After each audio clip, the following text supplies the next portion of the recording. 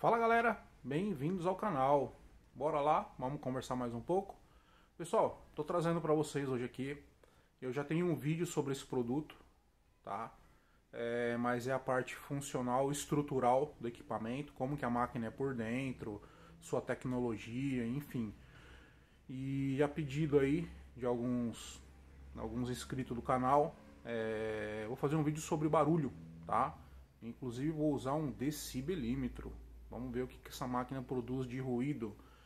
Para você que tem curiosidade, para você que tem interesse em adquirir um produto como esse, talvez o vídeo te ajude a tomar uma decisão. Tá? Vou colocar meu ponto de vista técnico, se vale ou não a pena um investimento num equipamento como esse, um ar condicionado portátil da LG, tá? Uma máquina bonita, é eficiente, tá? mas ainda assim é um ar condicionado, tem um compressor, tem ventilador, enfim, funciona aí de acordo com o que o fabricante promete. Né? É um ar portátil, né? E então vale muito a pena aí vocês acompanharem, tá? E eu vou dar algumas dicas aí para vocês. Bora lá, vamos iniciar isso aí. Pessoal, é isso aí. Ar condicionado portátil da LG 14.000 BTUs, dual inverter, compressor é, inverter de dois rotores, o que minimiza aí o barulho, o ruído, tá? Trabalha com frequência, é, controle eletrônico de rotação, ele acelera, desacelera, tudo de forma automática através de um comando eletrônico. Essa máquina atende de 16 a 25 metros quadrados, ok? sempre levando em consideração incidência solar, é, janela muito envidraçada, que retenha muito calor, isso vai abaixar um pouco a eficiência, tá? Então vamos lá. É, o que a máquina promete aqui, o que a LG quer entregar para o cliente? É uma máquina de 14 mil, que atende de 16 a 25 metros quadrados, economia de energia, mais silencioso sim, ela possui controle inteligente de voz, tá? Você conecta ela na internet você tem um comando de voz e comando pelo aplicativo também, ok? Aqui na própria embalagem a gente tem algumas informações bem bacanas. A economia de energia sobre o compressor. É, essa máquina, galera, ela parte de 44 decibéis, tá? Então ela já parte com um nível de ruído de 44 dB né? Então aqui a gente tem algumas ilustrações, uma livraria, por exemplo, a gente tem 40 decibéis, é, um trabalho home office, é, office, aí vamos, né, 55 decibéis, é, conversa, né, é, 65, é só um comparativo que eles fazem, tá? Um alarme, por exemplo, de um celular chega a 80 decibéis. Então a gente tem um nível de ruído aí nesse equipamento bem bacana, mas ainda assim existe um ruído, tá bom? O controle através de aplicativo, tá? Smart Twink, né? Comando de voz, etc. Aqui a gente tem os acessórios que vem no equipamento, que são a, a, o duto sanfonado, tá? E o acabamento para você colocar numa janela, porque você precisa tirar o ar quente de dentro desse ambiente. Não adianta você ligar a máquina dentro do quarto, um escritório e não jogar esse ar quente para fora. Não, não tem sentido isso, não vai funcionar de forma da forma que você queira, ok? Vamos ver mais um pouquinho aqui o que a gente tem de informação na caixa. Do outro lado, é, a própria caixa pede para você calcular o seu, a sua metragem quadrada. Aqui, né, a, a, o que ela atende. Aqui a gente tem uma ilustração, dois modos, horizontal e vertical, de como fica a saída sanfonada do equipamento, tá? Aqui nós temos o, a ilustração da tomada, tomada 127 volts. Eles só não colocaram aqui que tem que ser uma tomada de 20 amperes, tá? É uma tomada com a circunferência um pouco mais, mais larga para suportar uma corrente mais elevada. Esse equipamento ele trabalha em 127 volts, tá? Então a, a tomada ela tem que ser preparada, é, contrate um eletricista e faça a adequação da tomada onde você vai ligar o equipamento, tá bom? E vamos iniciar aqui o teste, tá? Aqui tá a máquina, tá? Galera, isso aqui é um, é um, é um laboratório é, é de reparo. Eu tentar ajustar o zoom aqui, aí, tá? Então eu quero mostrar para vocês aí é, como a máquina funciona, como ela se comporta. Não vou ensinar hoje como conecta na internet, tá? Hoje realmente é mais pra gente é, nível de barulho para tirar alguma dúvida que você tenha em relação ao equipamento. A gente vai usar um decibelímetro, tá aqui já. Vou ligar ele. Vamos tentar registrar o nosso nível de ruído, tá? Vou ficar quieto aqui um minutinho para a gente abaixar o máximo que a gente conseguir.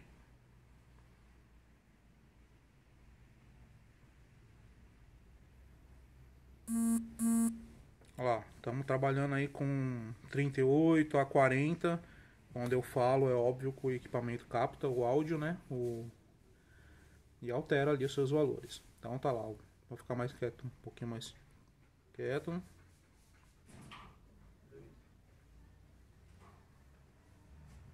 Agora a gente vai ligar a máquina. Bora lá?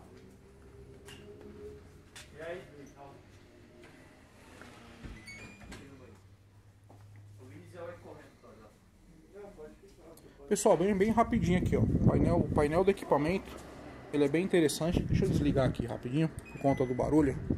É, equipamento bem simples, parte funcional, não tem muito segredo.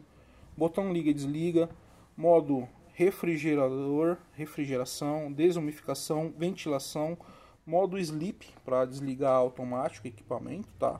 Aqui a gente tem o, o visor que informa a temperatura, velocidade do ar, oscilador, que é o defletor de ar. Quando pressionamos ele vai ficar de modo automático e o timer para ligar o equipamento e desligar de modo automático também, tá?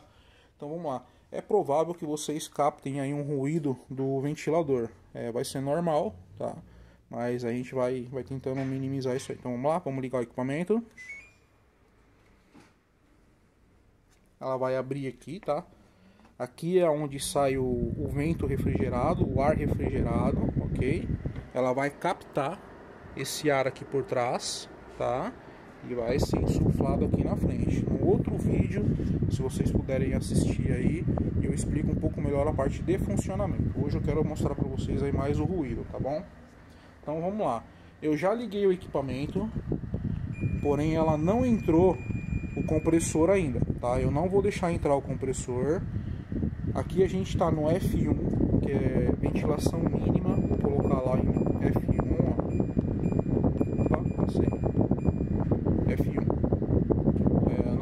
esse áudio vai, vai impactar aí para vocês, porque a flecha de ar vem bem na frente do celular aqui. Então vamos lá, ó. Eu deixei como se fosse para 30, não vai partir o compressor. E vamos ver quanto está marcando aqui em decibéis. Gente, um metro de distância aproximadamente, tá? É um produto que não é para você colocar na cabeceira da cama. Esse produto ele tem que estar tá aí a 3 metros de distância de um sofá, de uma cama, enfim. É isso aqui é o teste que tem que ser feito. Não adianta eu colocar lá do lado do equipamento que o ruído vai ser alto. Então vamos lá o que está que tá registrando aqui para mim.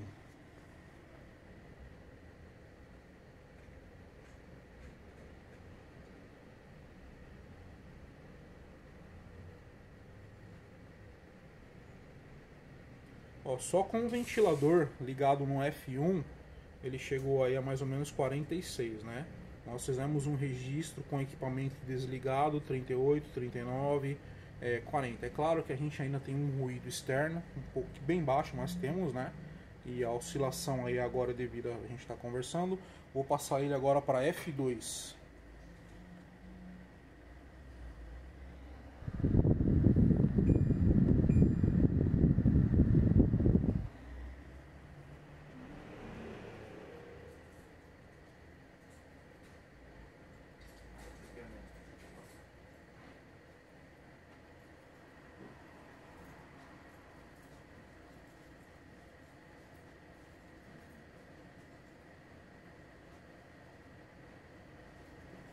Ó, em F2, galera, a gente ficou ali na faixa dos 46 também.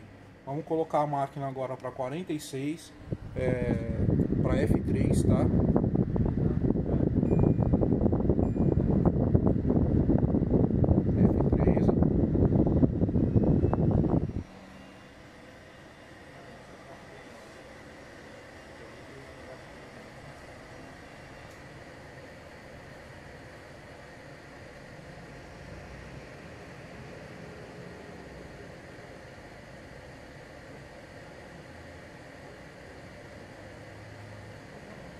Ó pessoal, em F3, que é a minha velocidade máxima do ventilador, é, ela já subiu considerável, tá? Ó, 56, tá? É, por que isso? A minha flecha de ar agora aqui, ela é muito mais forte, tá? Ela é muito mais forte, que é para quê?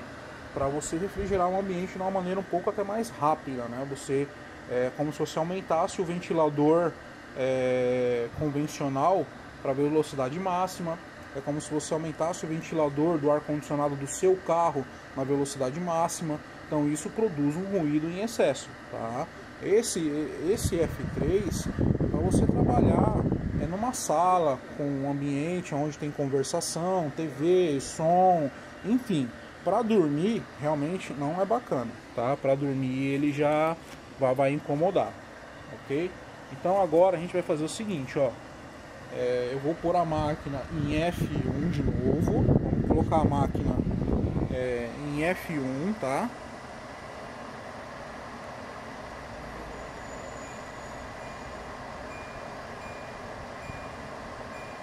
Olha lá, passei a máquina para F1.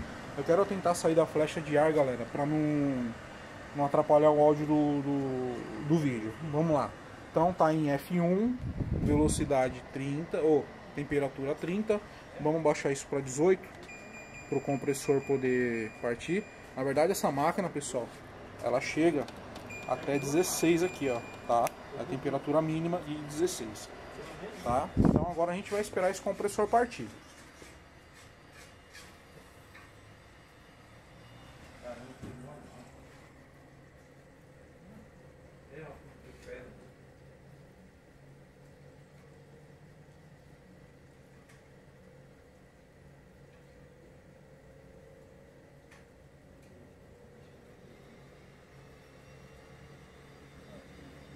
Ó pessoal, o compressor entrou agora.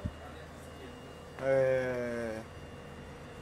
Tá? Ele já partiu o compressor. Eu vou tentar aproximar aqui um pouco mais para vocês ouvirem é, o ruído do compressor. É aqui nessa lateral.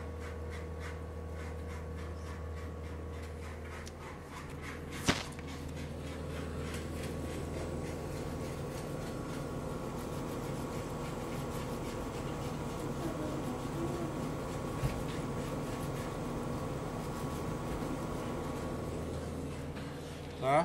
Gente, pessoal, o compressor ele está ligado, a máquina já está refrigerando, tá? E aí agora então eu vou aqui, vamos ver lá o que, que me apresentou aqui no decibelímetro.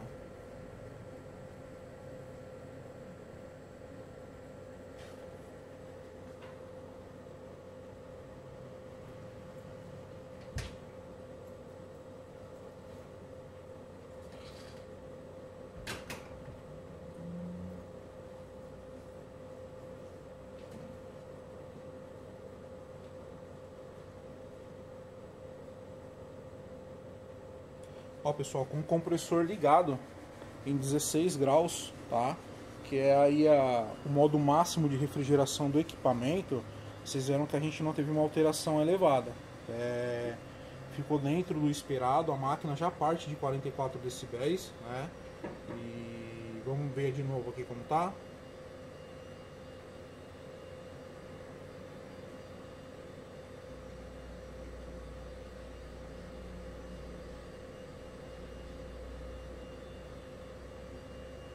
Tá perfeito isso aqui agora. Eu vou fazer o seguinte.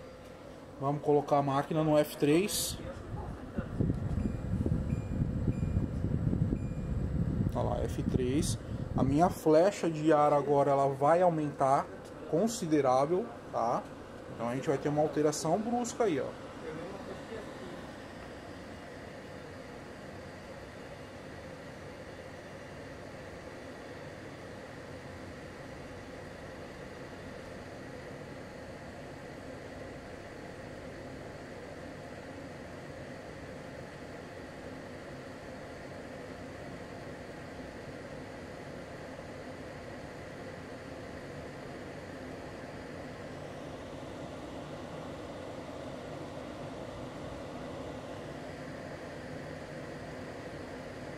Ó pessoal, é isso aí ó.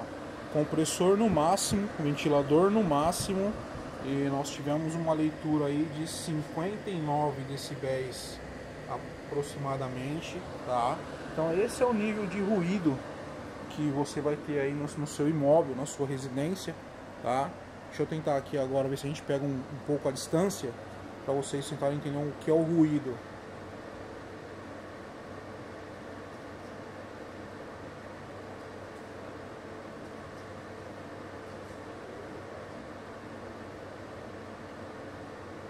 Isso nós estamos no ventilador máximo, tá? F3. Vou passar agora para F1 de novo.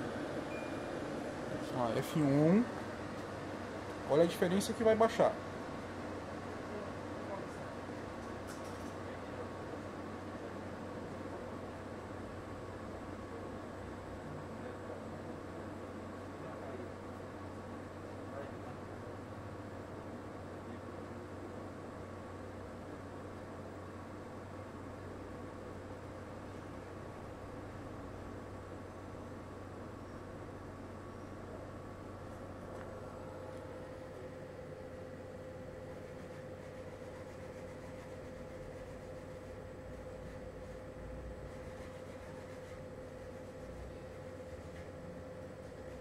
Vocês viram aí, pessoal? Já baixou para praticamente 50.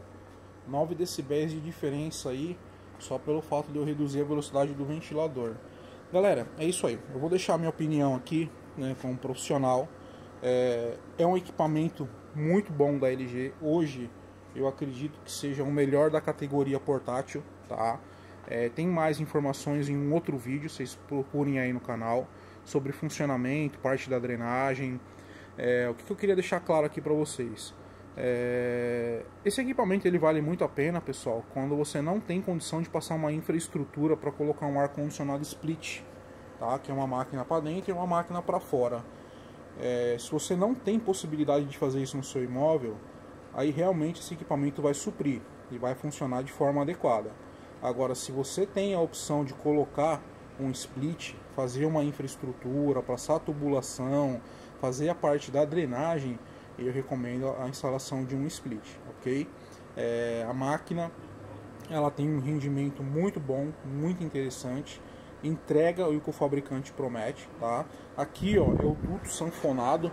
Esse duto sanfonado, você vai fazer aquilo que eu falei para vocês. Vocês têm que jogar o ar quente pro lado de fora, tá? Então ele abre, ele vem com essa com essa peça aqui, ó, que você vai acoplar lá na sua janela, tá? Ela vem mais duas dessas, se eu não me engano, então você acopla lá e você faz um fechamento para que também não entre muito ar quente para não perder a eficiência do equipamento, tá bom? Então fica a dica aí para vocês. É um aparelho bem bacana, é bem acabado, bem produzido, tá? É... Próximo vídeo eu ensino vocês a como configurar a parte da internet. O foco hoje era mais sobre o ruído, para quem tem curiosidade de como é o barulho do equipamento, tá? E é isso aí. Para quem quiser adquirir o produto, boa sorte, sucesso, tá? É, você está comprando um equipamento muito bom. Eu não sei em relação a valores, tá? É um equipamento que eu acredito que passa aí dos seus 4 mil reais, mas é o que eu expliquei para você. Se você não tem outra opção, essa daqui é a melhor hoje no mercado, tá? É, tem a possibilidade de pôr um split, coloque o split, tá bom? Então é isso aí. Boa sorte aí para vocês. Se inscreva no canal, deixa aquele like e logo mais teremos vídeos aí. Valeu, galera. Um abraço.